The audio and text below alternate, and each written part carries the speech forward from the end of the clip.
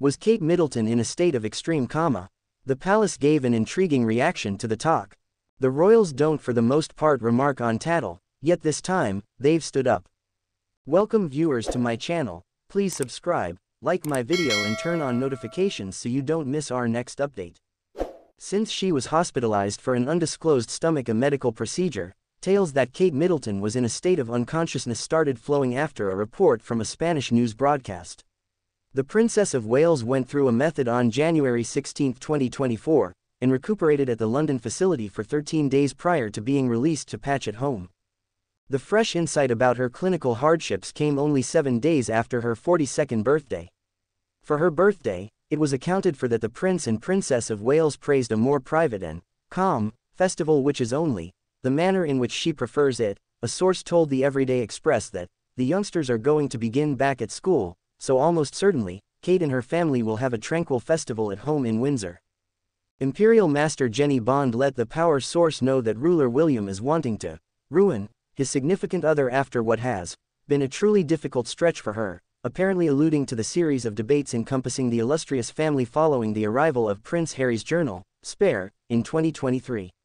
He's most likely got a tad of sentiment in him someplace, Bond shared, estimating that William could sort out for breakfast in bed for his significant other. On January 29, 2024, Kensington Castle made an announcement saying Kate was gaining great headway and proceeding with her recuperation at home following a 13-day clinic stay. The Grains family keeps on being appreciative for the kind words they have gotten from around the world, the assertion read, as well as being grateful for the determined nursing staff at the London facility. Yet, talk did the rounds via virtual entertainment saying that Kate's a medical procedure might have had serious, unanticipated ramifications, prompting the expression, Kate Middleton unconsciousness, to start moving.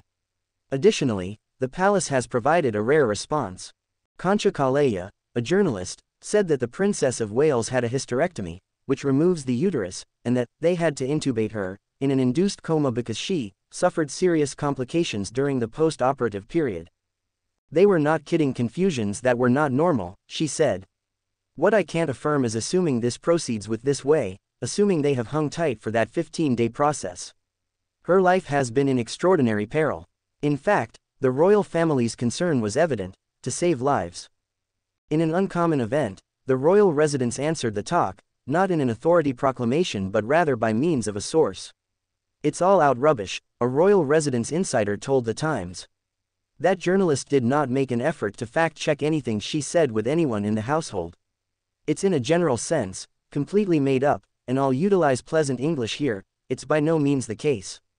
What sort of stomach a medical procedure did Kate Middleton have?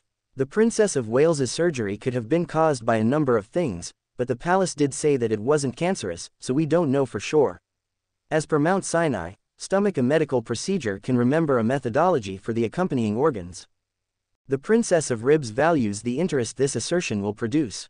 She trusts that the public will comprehend her craving to keep up with however much ordinariness for her youngsters as could reasonably be expected. What's more, her desire that her own clinical data stays private, the assertion proceeded. Kensington Castle will, along these lines, possibly give refreshes on her illustrious heights advancement when there is huge new data to share. The Princess of Grains wishes to apologize to every one of those worried for the way that she needs to delay her impending commitment. They continued, she looks forward to reinstating as many as possible.